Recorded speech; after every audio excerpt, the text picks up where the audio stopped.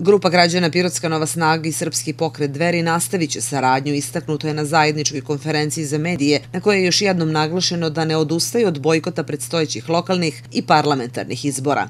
Zbog toga smo se mi pre svega ovde u Pirotu odlučili da bojkotujemo, pridružili smo se svemu tome i kada je Savez za Srbiju u pitanju i onom čuvenom ugovoru sa narodom koji smo potpisali i zbog kojeg ne želimo da izneverimo očekivanja građana Pirota, a na kraju krajeva i građana Srbije.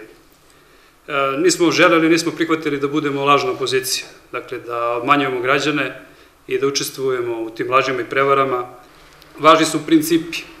Ono kako mi vidimo Pirot, odnosno kako vidimo Srbiju, to je da u politici kod ljudi na vlasti preovladava moral, naravno i stručnost, ali ja bih istakao moral pre svega. Lider Srpskog pokreta Dveri Boško Obradović je ovom prilikom istakao da su izbori zakazani za 21. jun nedemokratski i da se njima krši ustav jer su po ukidanju vanrednog stanja izmenjeni zakon o izboru narodnih poslanika i zakon o lokalnim izborima. Za nas ti izbori ne postoje, ti izbori su za nas lažni, nedemokratski, protivustavni i rizični za zdravlje građana.